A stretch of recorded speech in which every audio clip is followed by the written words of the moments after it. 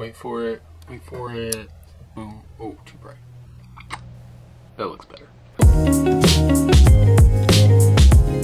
So, it's almost been three months since we went on spring break for UNC and we never came back. Let me in! Let me in! And I speak for every UNC student in saying we were all pretty worried about what was going to happen with fall semester. But we finally got some news from Chancellor Kevin Guskiewicz and he has delivered this email to us and I'm also going to be going over some other emails. I just wanted to take a few days to get all the information together so I can tell you about, you know, our plan for going back in the fall uh, with everything still uncertain with coronavirus. So the first takeaway is yes, we will be going back in the fall.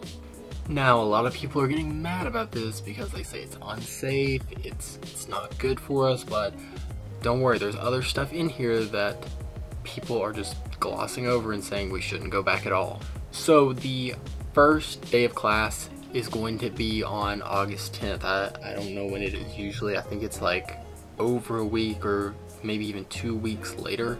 Um, I think think last year was like 20, 21st or something maybe.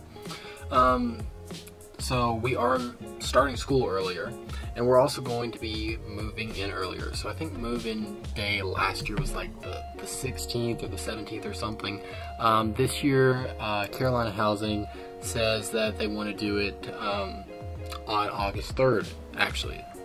So Move-in's also going to be different. Um, how it's going to work is you're actually going to be given an appointment time, just like you were given an appointment time to move out and get all your stuff out. You're also going to be assigned an appointment time to move in. So you may be moving in August 3rd, or you might be moving in later. Um, they haven't given all the details about that yet, but I'm pretty sure the earliest people can move in is August 3rd, and you have to be moving in on your assigned uh, time to to move in.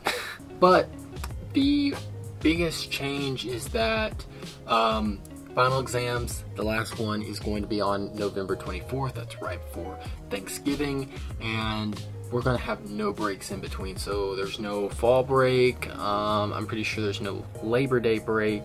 Um, yeah, no. Uh, the university will observe Labor Day, University Day, but will eliminate fall break.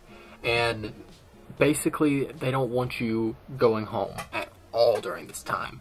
Um, basically, when you show up to campus on August 3rd or around then, you won't be going back home until November 24th. And this also means you get about a six week winter break, which means, um, you know, that's going to be a, a, lot of time where maybe you might be quarantining or something. Maybe they're going to have us, uh, when we get news about spring semester, maybe we come back early for spring, but we self quarantine once we uh, get back to campus. So maybe they want us back on like January 1st or very late December, but then classes don't start until like January 14th or 15th. It also says students participating in co-curricular activities like Carolina Athletics, ROTC, Marching Tar Heels, they will be invited back to campus in similar phased approach, so maybe we're getting sports back? I, I don't know about that, um, but they have that in here.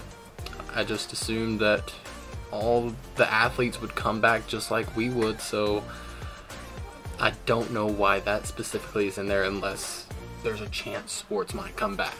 So class sizes are saying they're going to adjust them for appropriate physical distancing. So what they're actually saying about this is I think around a class of more than 50 people, I think that they're going to be completely remotely online. So you'll stay in your dorm and you'll have your class on Zoom. But um, if you have a recitation or something, maybe some of these classes are getting recitations now if they are online. Um, you'll go to that recitation and it will be a smaller classroom environment, but the big class will be still on Zoom. And to enter and exit the building, it's a one-way corridor. So there's going, when you get to a building, there's going to be one way you can enter and then you can't turn around. If you're going to exit that building, you have to keep going down the hall to exit.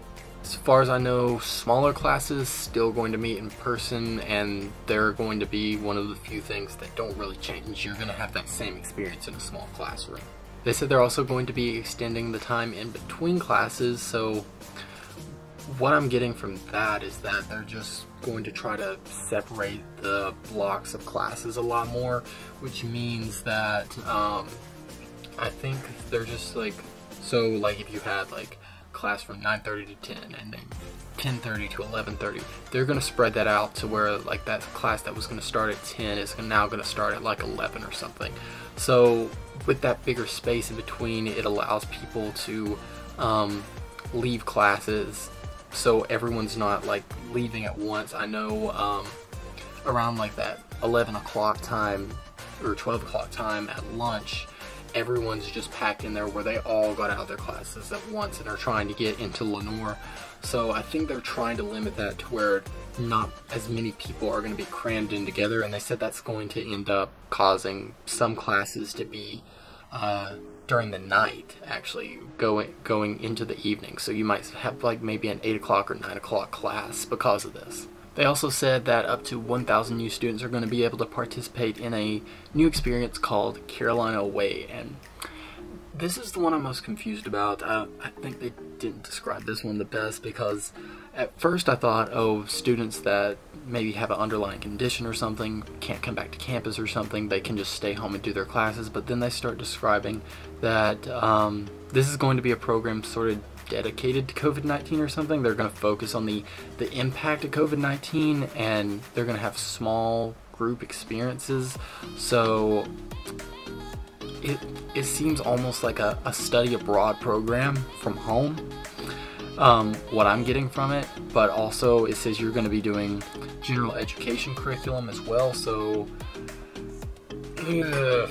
But then later on down it says that all classes are going to be required to be recorded so if a student feels like they don't want to come back to campus or they don't feel safe coming to class, then they could just watch it online. So I feel like this sort of solves the problem for everyone because if you want to come back to campus, then you can.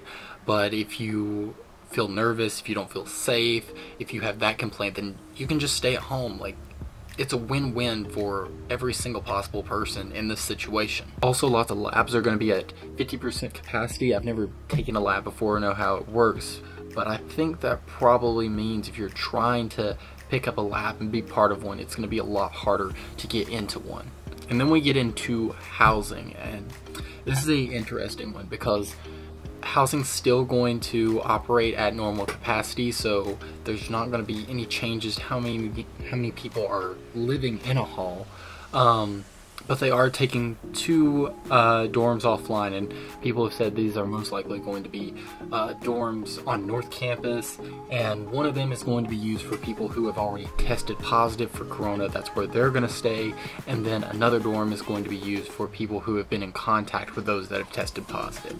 Also people with underlying conditions that it may not be safe for them to be in a dorm with a roommate, they're going to be turning a lot of the double rooms into single rooms so you'll have a room all to yourself. Another interesting thing that I don't think a lot of people have really read into is the dining service.